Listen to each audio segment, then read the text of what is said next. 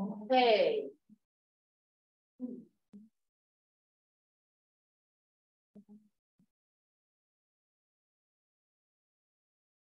Okay, so um, today we are going, this, this is actually what I consider like one of the most important chapters. So chapter three, we're going to talk about the external environment, okay? And we kind of look at that like when we are doing the BSG game, we kind of go through the industry report, and sort of like the external environment. But um, the uh, external environment actually, before we start like going into the company's industry, we actually uh, need to also look at the macro environment. Okay, so the macro environment is like the broad um, um, things in the environment we are in. Okay, so some examples. So the PESTEL, PESTEL is the macro environment that we were talking about. Political, you know, the political system, the political situation, okay? And then economic, like now we are um, facing the high inflation rate. Tomorrow we will know the CPI index. So we will see uh, whether or not inflation is kind of under control or is still kind of high. What do you guys think? Like you guys do grocery shopping, right? Do you still see like the price going up or stay high? Like, does it still go up? I think some things are staying Yeah, high and some things are going up, like eggs are now seven dollars. yeah, yeah, yeah, eggs are crazy. Yeah, even, even the gas, I noticed, like, few weeks ago, it was like 3.1, 3.2. now it become three point five again. Yeah. Yeah, so, um, yeah, so that's the economic situation that all the company has to face, okay? And then social context, and then uh, technological, environmental, and legal. So we are going to like go um, one by one to see what those are, okay? So um, the political factors are like the policies, like the uh, different processes. Like um, I was just listening to the news before I came here, um, before I walk into the office. So Ford is going to um, work with the Chinese battery company. They're going to get their technology and they're going to build factories in uh, Michigan to, to build the, the batteries for their EVs. Okay, so um, oh, oh, so so one of the reason is because now the government is um, uh, promoting the environmental friendly stuff like EVs. So the um, car companies, they actually get tax credit if they build something in the United States, in, um, in our country, they get some tax credit. On the other hand, when they sell their EVs, um, the consumer, we get some uh, tax credit as well. Okay, so they try to promote this business. And so that's why they finally they decided, okay, we're going to work with this company to get their technology to build a cheaper battery. Okay, so that's how um, this might affect you know how companies make decisions. So the first factor is political factors, okay, different uh, policy, and then economic condition. so like we talk about inflation rate, interest rate, okay, it will affect how company make decisions.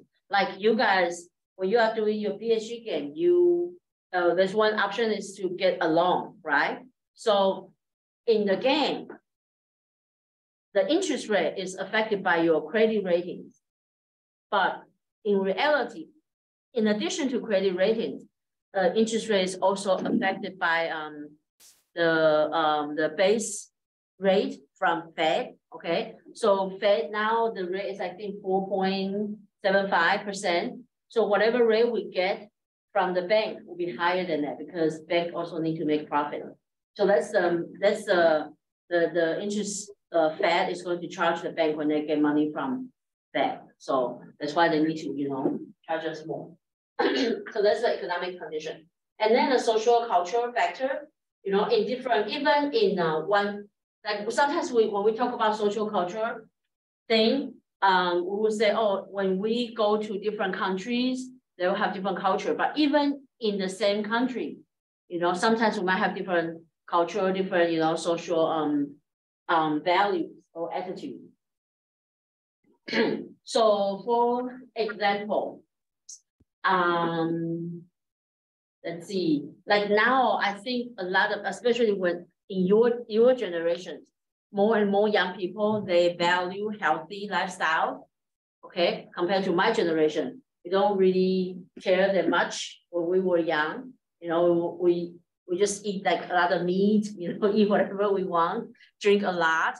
And I think now the younger people, you guys are more conscious about, you know, what you eat. And I don't know if it's true, but from what I heard, like my daughter and her friends, and then some of you guys, like, I know you guys like really care what you eat and you try to eat very healthy, right? So, but it wasn't like that when I was young. So, so like it depends on different, you know, generations and different locations as well.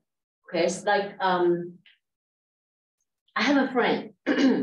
he um, they live in a in a, a small town in Texas, and that town is very religious, conservative.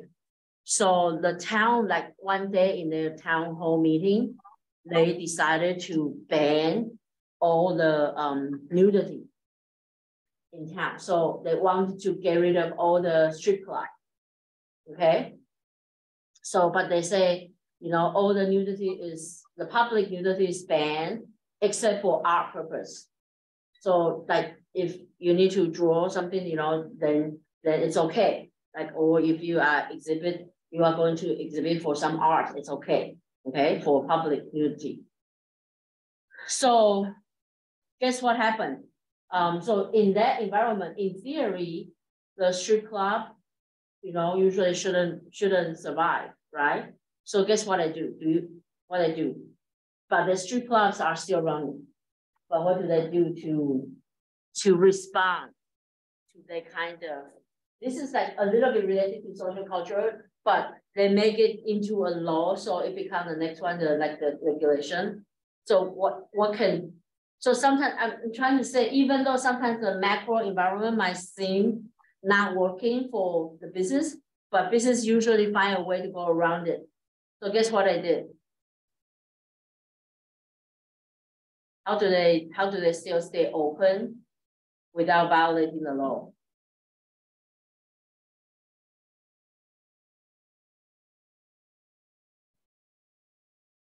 No.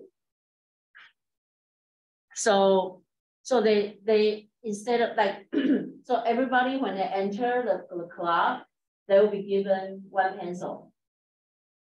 So that means when they walk in, they're doing art. yeah. So that's how that's how a business can get around it. But you know, still it will affect how we do business. Like some places, I think in Pennsylvania, in Pennsylvania, wait. Yeah, in Pennsylvania, um, Wegmans sells alcohol. But other than that, does Walmart, I don't see Walmart have, you guys see Walmart sell beers and alcohol stuff? Yeah, how come Wegman can sell?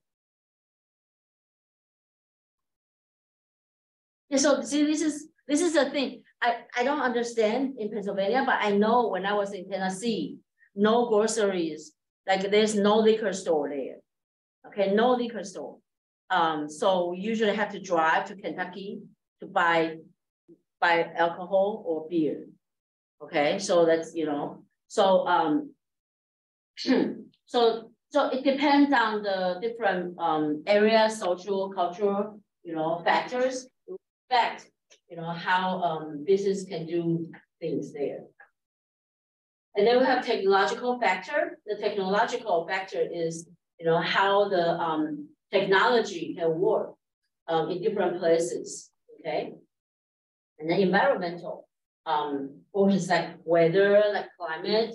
Um, I think when um, when um, FedEx or UPS, when they try to decide where will be their hub, where, where they want to have their headquarters, I think they were considering like Chicago Chicago is actually, if you look at the map of the world, it's like in the center of the world, and it's actually when you go from Chicago to to Asia or Chicago to Europe, it's actually the, the most convenient way, okay, compared to New York. New York to Asia is kind of far, and then LA to Europe is also kind of far. So Chicago is actually, you know, the closest to all these places.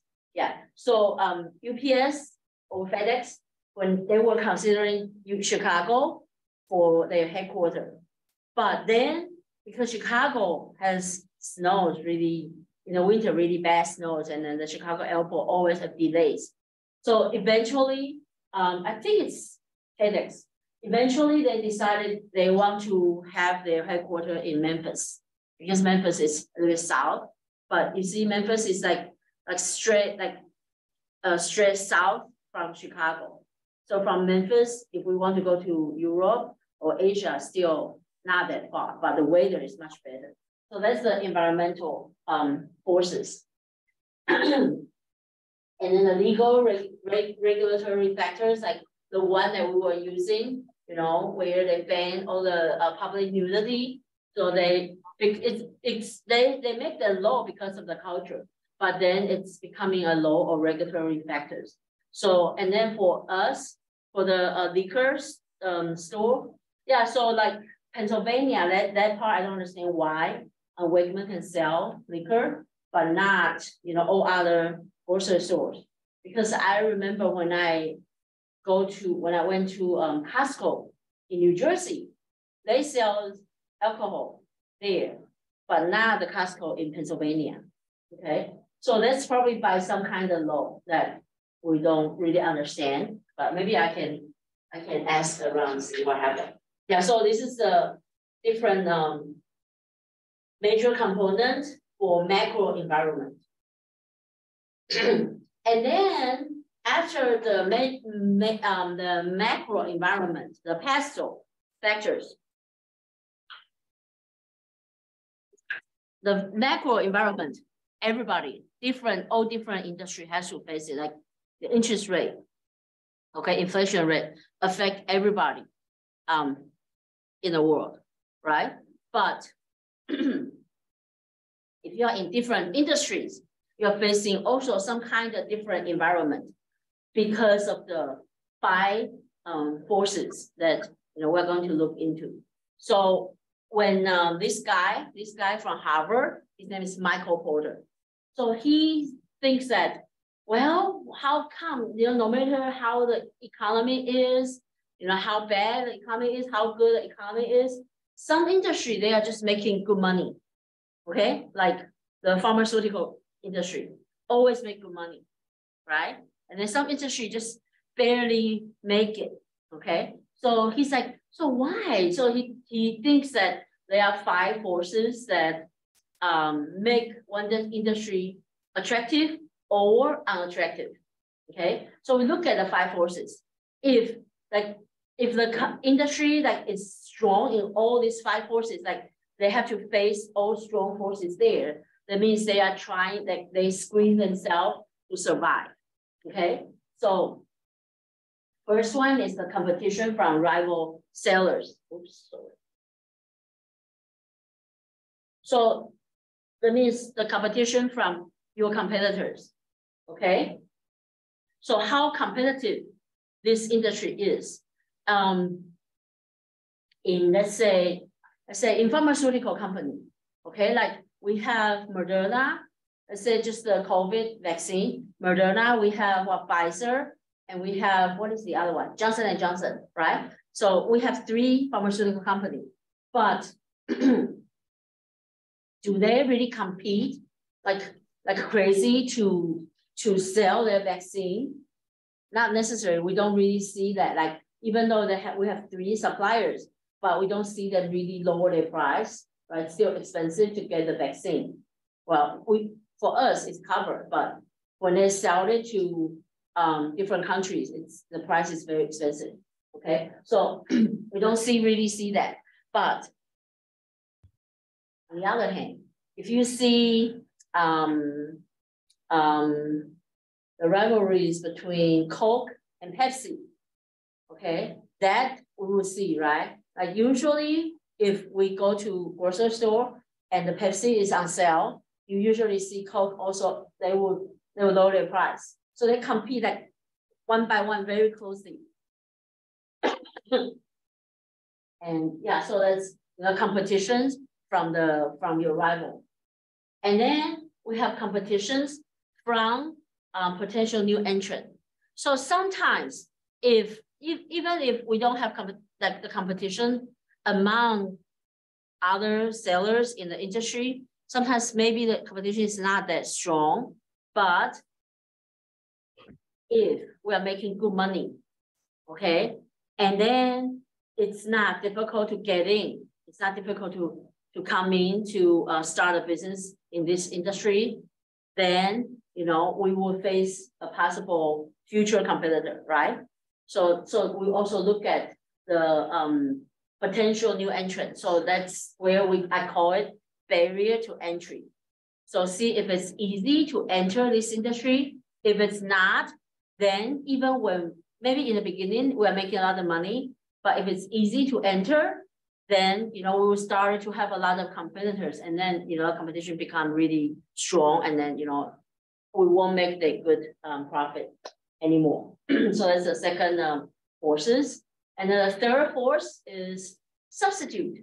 Okay, so even though uh, we might have high um, um, entry barrier, but it might like let's say airline, okay, airline so airline, they um they compete like when we purchase airline ticket, we look at the price, right? We just Google Google go to Google Fly and then put in the the uh, what is it the where we are flying from and then our destination and then pick the cheapest flight, right? So they will compete with the, the, the price a lot. And even though like if they are making good money and it seems very sexy to own an airline, right? But it's still expensive, right? Even if we just uh, rent or lease an airplane, it's still expensive. Okay, so maybe the new entrant is not that easy, but how about the substitute? If it's so like now it's so expensive to to travel by plane, okay, unless it's like international, you know, we have to.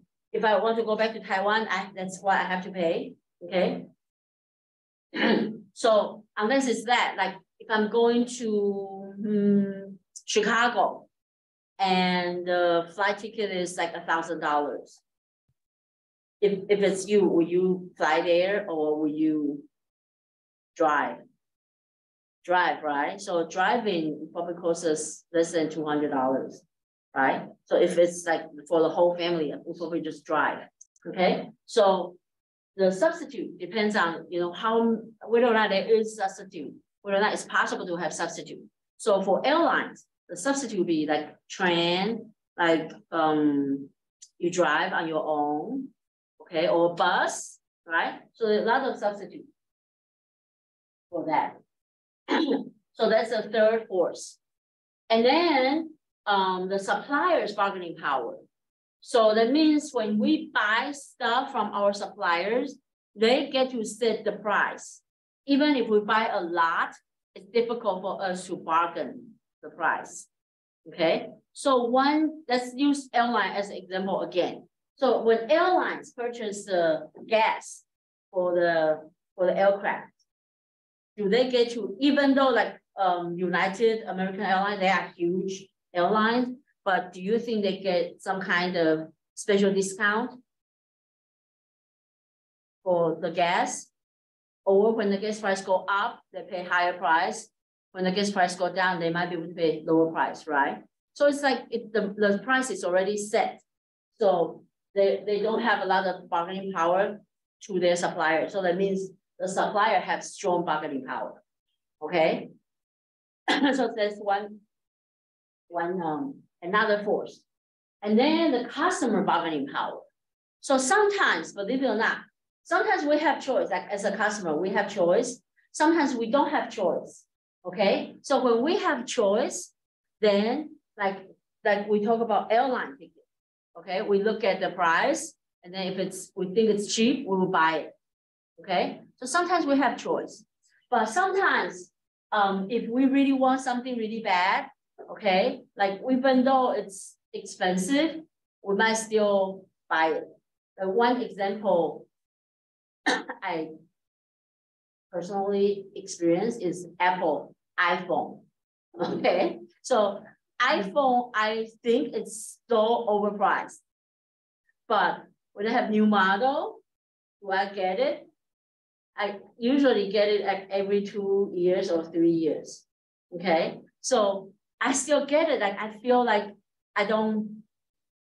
Um, how should I put it? Like I don't want to get it, but I still get it because my phone get become really slow, and I don't want to deal with switching to different brand. So I have to get it. So in this case, I feel like I don't have bargaining power, but actually I could. But they make the, so when we talk about the customer bargaining power, there's something called switching costs. Is it easy for us to switch to another product or service? If it's yes, then the switching cost will be low. So the customer, we will have strong bargaining power. But Apple they make their phone so convenient, connect with everything. So they make the, and then like now, um, we have, what is it? I have the Apple One, okay, because I don't have enough space for all the photos, all the videos. So I have to buy the uh, iCloud, um, what is it, iCloud space, right? And then I just keep upgrading it because I don't have enough space. So now I'm getting, I think, one T iCloud. And then as I get one T, I forgot how much it is. It doesn't make sense to just use it. So I just get the Apple One because it, it gives you like one T for the whole family. And then it add, you can get like free Apple Music and then the Apple TV Plus or whatever, right? So I get all these, but it's like $30 every month. And I feel like, and I can switch that because like now I, I really like this time I really wanted to switch to an Android phone. And then my daughter is like, no, I have my music on your.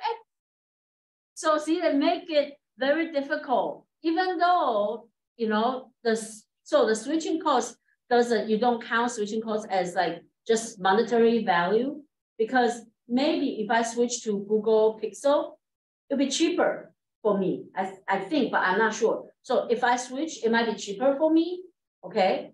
But I have to deal with my daughter like whining, you know, about the music and stuff because she already created like very sophisticated Apple Music list for her, like wherever she go, like if we have different hours of trip, she will have different um, music list. Yeah. So she's like, no. And then we also have, we bought some movie under um, Apple account. So, you know, it's just, it's just inconvenient. So they just make the switching cost too high for us, make it too difficult for us to switch. So kind of, you know, our bargaining power is neutralized. Okay, so so there are ways to to um, control some of this. So we can use this to analyze the industry, but the company itself, the company, different company, they have different ways to neutralize different forces here. Okay, sometimes you might feel like there's nothing you can do, like you feel helpless, like the company maybe feel helpless in that situation. But actually, you know, there are ways to go around it. So this is the five forces analysis. I was screaming so hard yesterday, so my throat is is hurting. Yeah. so for um so to use five forces analysis, you know, we should try to like look at the the five forces one by one, okay? And then how strong each forces is in the industry, and then think of a way to see whether or not we can kind of neutralize it. Like for another example, the um the customers purchase a bargaining power. So like when we use the cell phone carrier, they make us sign contract, right? If you want to get free phone, you have to sign contract for two years. So then you have, you don't have any, you cannot switch to another phone company. right? You just have to pay because you signed a contract for two years, right? So they that's how they neutralize the bargaining power, okay, by signing uh, making a signing contract with them, okay. so one time I remember, one time I had eight like several years ago I had AT and T, so they made me sign a contract with them for two years because I I wanted a I think I wanted an iPhone 4. That's the first iPhone I have. So I wanted an iPhone 4 and I signed a two years contract. And then I traveled back to Taiwan for one month. When I came back, my phone bill was, anybody want to guess? Because I use international data. I, I actually use a lot of Wi-Fi there, but I didn't know if you don't close the, the roaming, um, they still use it even when you're connected to Wi-Fi. What do you want to take a guess? Huh? Yes, 900 something, $980 for one month. Yeah, I was so angry. I was really angry, but I can't do anything because, you know, I signed contract with them. Yeah, so um, but then when my contract is up after two years, when I find out, oh, T-Mobile has this promotion, I can also get a free phone. So I just immediately switch to T-Mobile.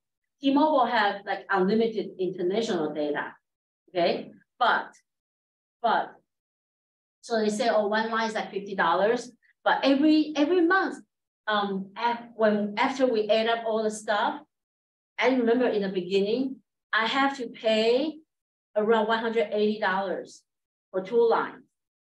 Yeah, so still somehow we ended up paying a lot. Yeah, but now I found, um, now I have five lines.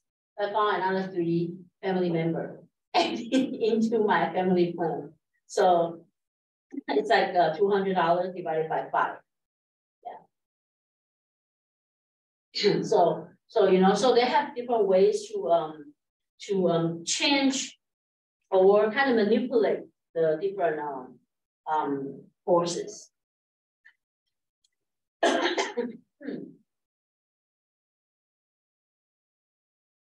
and um, so these are some of the some of the factors that we can take look like take a look to see to identify whether or not um, the forces, like in this case, is the rivalry among the industry, in the industry. So if the demand is growing slowly, then your competition might be fierce, okay? Or your product become, oops, sorry. So if your product become um, less differentiated, so then that means the consumer we are going to buy whatever is cheaper, right? If it's all the same. So that's why companies, they will try to find ways to try to differentiate their product. So one example I can think of is was the trash bag, okay? So the trash bag, usually when we go buy trash bag, if we know this is this trash bag is durable, it doesn't break easily, then we will pick you know, among those we pick the cheapest, right? Nobody really cares like, oh, I have to get this brand, right? For trash bag. Until one time I went to um, the grocery store, there's this trash bag on sale. Okay, it's on sale. So I, I was like, oh, let me, it's cheapest, so let me try. And then when I try, I realized it's scented. Okay, so when I realized, oh, it's scented, and whenever, you know, the thing that bothers me a lot is when I try to tie my trash, it stinks because the trash inside become, you know, stinks. So, so, so I hate it when I tie the trash and it stinks.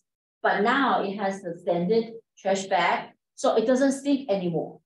So that's why now, even though they don't have the, they don't have the lower price, but when I go buy the trash bag, I always look for the scented trash bag. So they try to differentiate the product.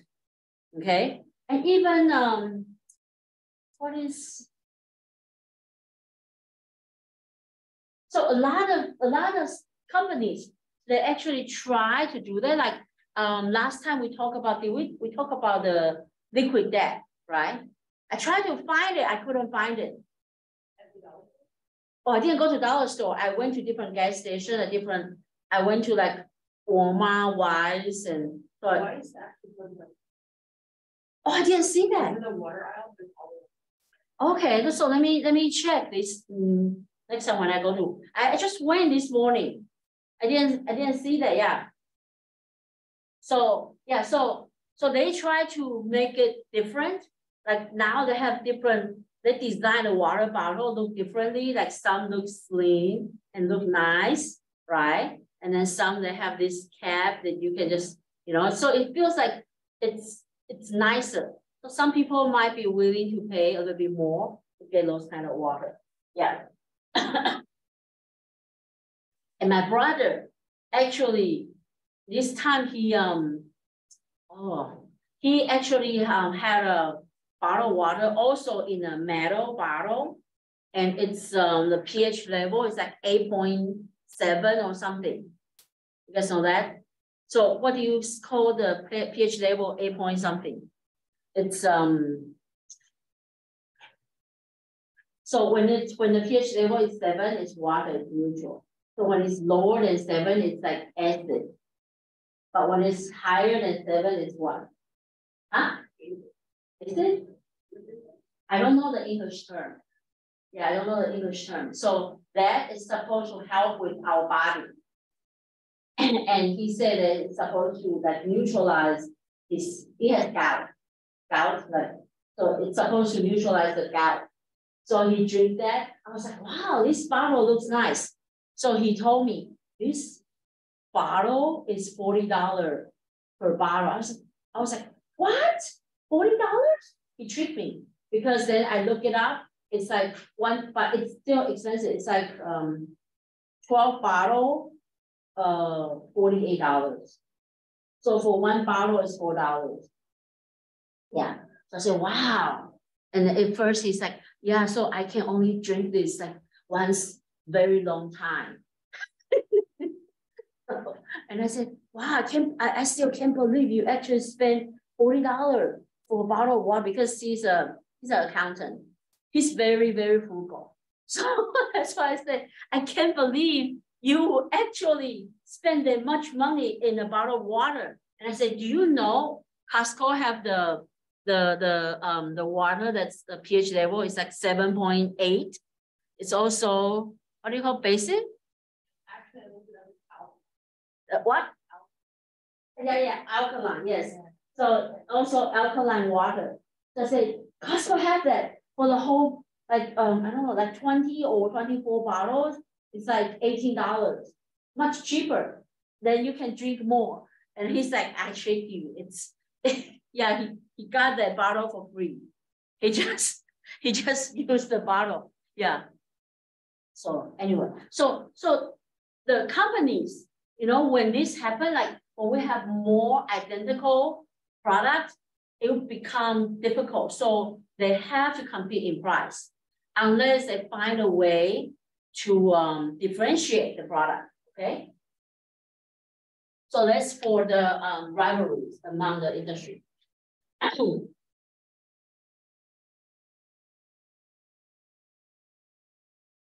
and then the entry, um, the entry barriers, okay? So, um,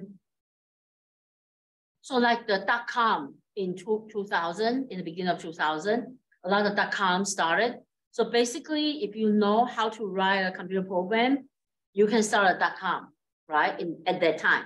So there are thousands of dot .com, and then because some dot .coms were successful, they make a lot of money. So people just keep, the computer scientists, they just keep starting their own companies, right? So, so the thing is that, how do we make the entry barrier higher so we don't have, when, when our industry is making money, it's attractive, we don't attract new entrant, okay? So that the competition become, you know, worse. So how do we do that? So one way to do it is um, through like if they if they can hire like if they can afford a lobbyist, they can have a lobbyist to set a regulation, okay, like a liquor license. Like sometimes some companies they already have the liquor license, so they will try to lobby the the township to change the regulation. Like, hey, you know, there like there are a lot of um drunken drive accidents and stuff. We should ban the liquor stuff here, or we should not give liquor license anymore. Okay, so sometimes it's how what company do. And then sometimes you can make your company so um grow so big. So even though they try to start a company, but the the scale of the awareness of the market is not as big as yours. So they can never keep up with you. Okay. So those are some of the ways to um to make sure the entry barrier is high. And also on top of that, when when we um, sometimes some industry become um, it's easy to enter, but when they become um, difficult to to do business, it will be difficult to get out. Okay, for some industry, it's difficult to get out, like um, airlines. So because you already have the airline, airplanes and stuff, and you have contract with, you know, different airport and stuff. So if you get out, you still have to, you know, um, honor the contract you already signed. So it's difficult to get out. So they have to, they got stuck in the industry, you know, they have to continue to, to operate. Yeah. So, so, so another way to um, uh, make the entry barrier higher is build your brand name strong, okay, so that the, your customer is loyal to your brand. Like I said, the Apple uh, product, a lot of Apple users are very loyal to um, Apple product. and then the network effect, and like how I got stuck because of the um because of the the iCloud, all my videos and photos in there. Okay, and then um friends that are using iMessage, if if like a lot of times when we text people, if it's not blue, when you do iMessage, it's blue, right? So when my friends text become green, I was like, you change your phone? You don't use iPhone anymore? Yeah, so so something like that, yeah. so um, so those are you know some of the things that we can do to um to make the entry barrier higher okay, so that we won't create our own competitor.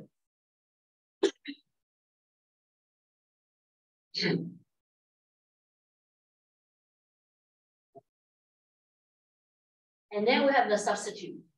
Okay, how do we um like sometimes some um some product they just have substitute, and sometimes it's difficult to see that coming.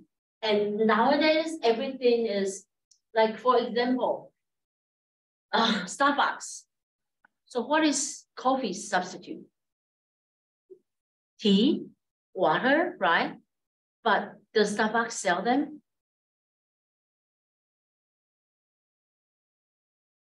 Starbucks, do they sell tea? I said, does Starbucks sell tea or water? Starbucks. Starbucks. Yeah, so they sell coffee, but the coffee substitute, but they also sell tea, they sell water, and they sell, they now sell sandwich. So are they competing with McDonald's? No? Or is McDonald's a competitor or substitute? Because McDonald's also have iced coffee. Yeah, so no, but it, this is the thing that you have to identify when you try to look at you know, the substitute and the competitors, okay? So in theory, they are not in the same category, right? One is Facebook, one is cafe, but they are also somewhat sell similar stuff, right?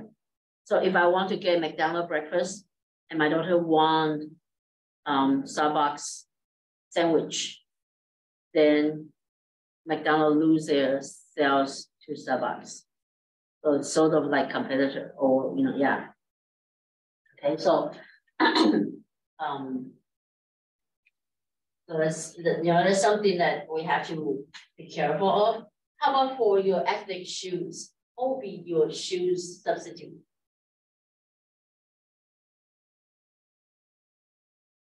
Ethnic shoes substitute?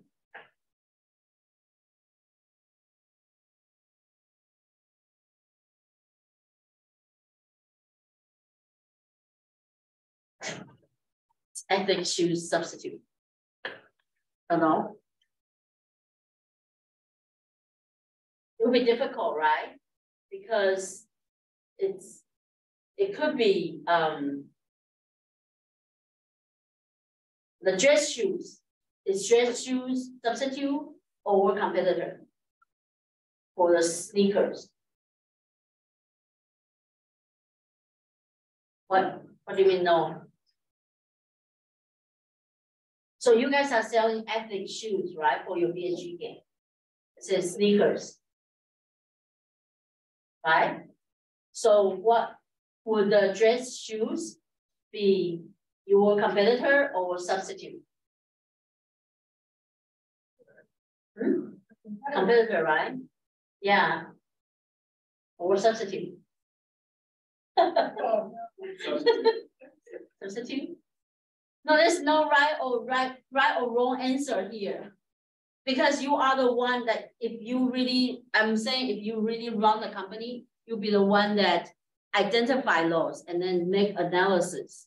So you have to decide whether or not this is substitute or you decide to ignore them, look at them as um, substitute, or you want to treat them as competitor. Like Nike, would Nike compete with, um, um, let's say, Aldo? Aldo? Aldo? I don't, I don't know if I say it right. A-L-D-O? Like Italian shoes. Okay, what is the dress shoes? You guys know. Let's say crop. Let, let's not say dress, dress shoe. Let's say Crocs. Will Nike compete with Adidas? Um, what is the other one? Um, hmm, Reebok, Under Armour, or Crocs? Timberland, uh, North Face. Are they substitute or competitor? So that's something you guys, you know, not not for the game, but if one day you are working in a company. That's that's that, that's what I said, getting difficult because there are some overlap. Like Apple, Apple started to, what is the thing they started to sell?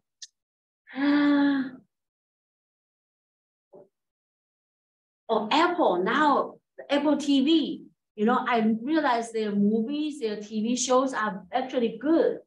So they are into um um what is it? entertainment, yeah, streaming, and then um, the uh, subscriber, right, subscription. So they are, are they competing with Google or are they competing with Samsung or are they competing with Netflix, right? So that's something you have to kind of identify when you are um, analyze the industry. and then we have suppliers bargaining power. So um, it depends on sometimes whether or not you rely on this particular supplier. Okay, if you can only get a special product from this supplier, then maybe you know they will have strong bargaining power. Okay, or if um, they have something nobody else have, then and then that's important to you. You cannot replace that material with anything else. Then they are important to you. Okay, and then they some and then they would know uh, they can decide how much they are going to sell you the price at. So so those will affect how strong the supplier's power. Okay, and then we have the buyer's bargaining power. And like we say, if whether or not it's easy for us, for the buyer, to switch to different company? If yes, then they have strong bargaining power.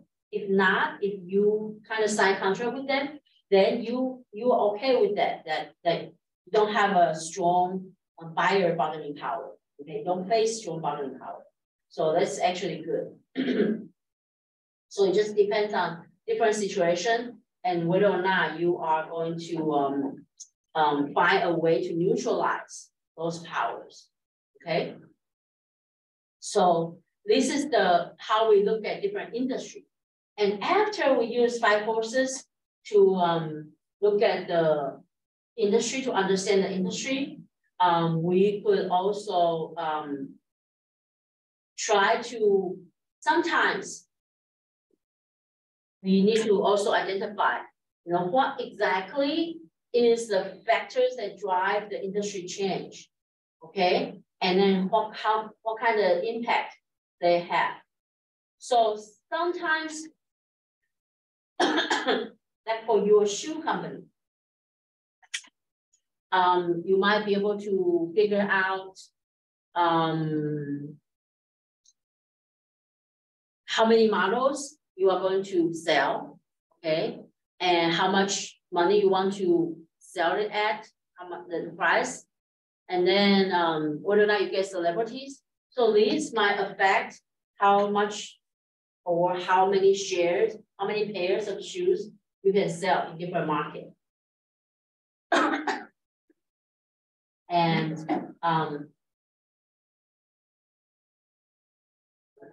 sometimes the technological change might also affect how we um, compete. Like for example, um, Canon. Canon is a camera company. They are the one that in, invented the digital camera.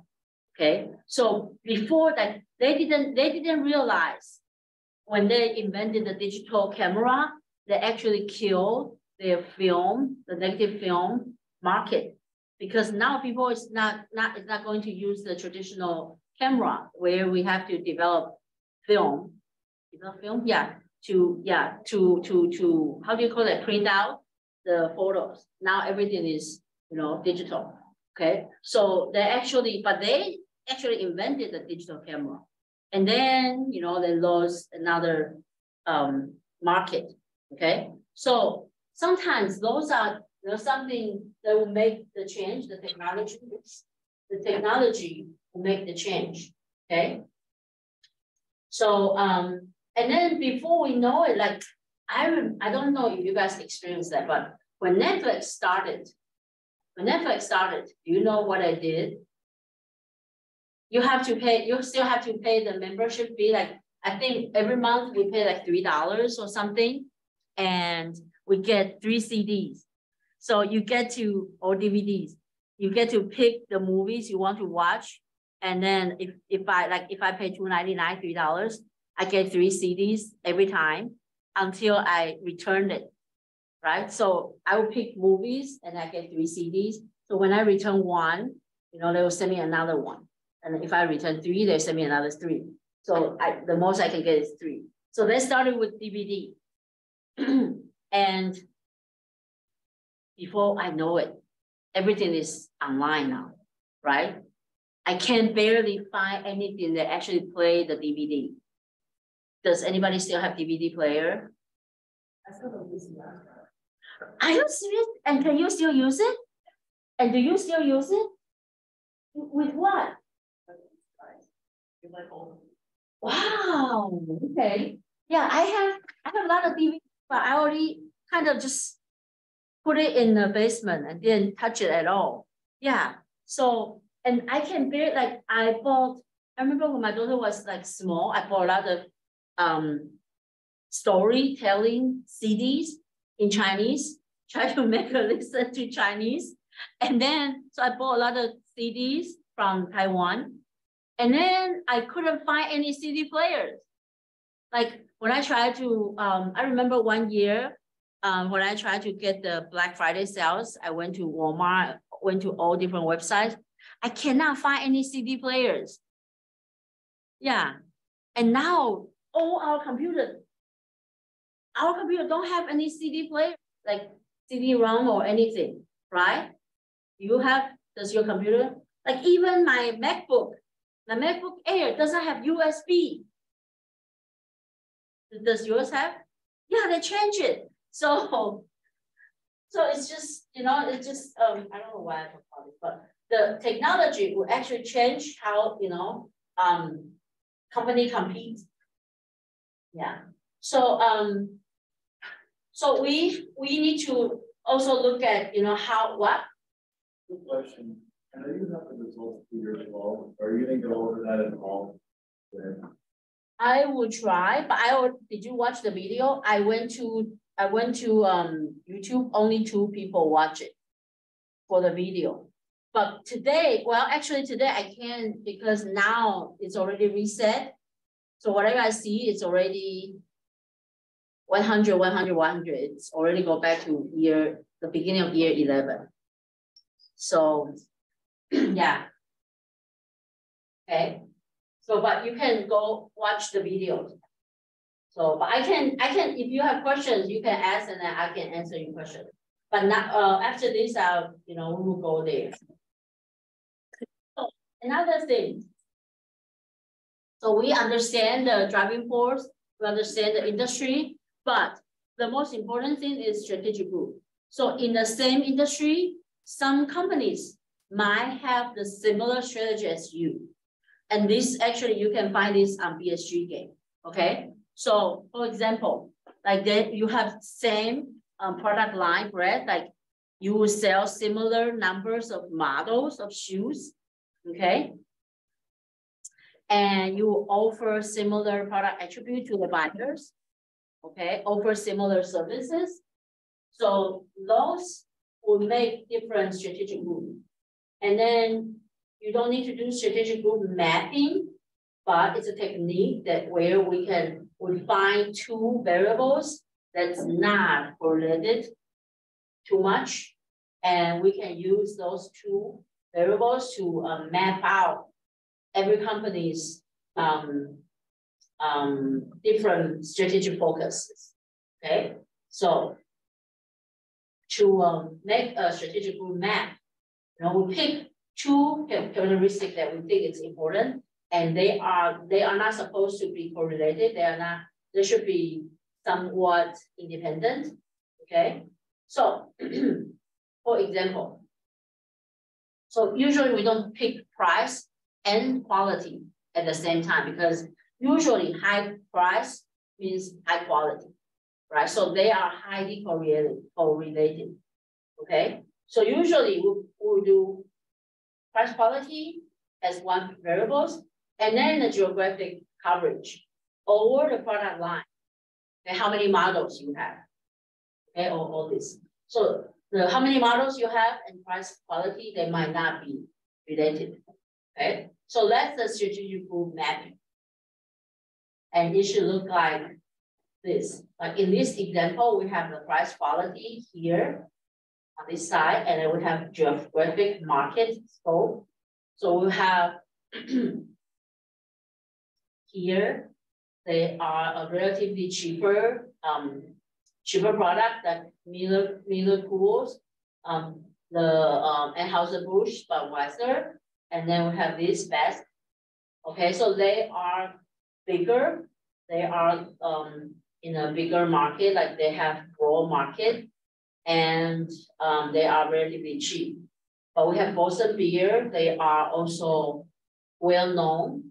Okay, but they are a little bit more expensive. Then we have the Yuengling and Son. They are a little bit smaller. Their market share will be a little bit smaller, and they are also expensive. And then we have a lot of microbreweries. That they, you can see like their market share is kind of very small, smaller um, circle, and they are very expensive, but they are in a very narrow um, geographic market, like usually just local. And usually I think one one glass is like $12, $15, right? but it's a, a special um, beer they design. So those are the difference that, and they are competing with each other. They are not going to compete with Bud Light, right? Or whatever, Blue Moon. Did you guys watch the commercial? For Miller and Coors. And then they say, oh, this is actually for Blue Moon, commercial for Blue Moon. You guys remember? Yeah, I was like, damn. So, so, so this is, you know, this is to help us to identify who is your direct competitor. So I'm going to show you from the, oh shoot, now we cannot see that. But from BSG game, you should be able to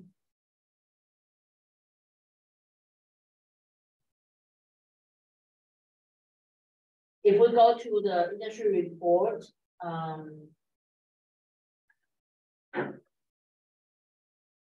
here. So in here, we should see different circle everywhere, but now because the game reset, everybody is in the same place, so it's all the same. Everybody's market share is the same, so we cannot see that. Can you put on your phone?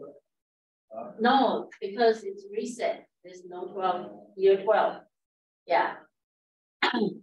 So, yeah, so you have to watch the video. But the game starts from scratch now.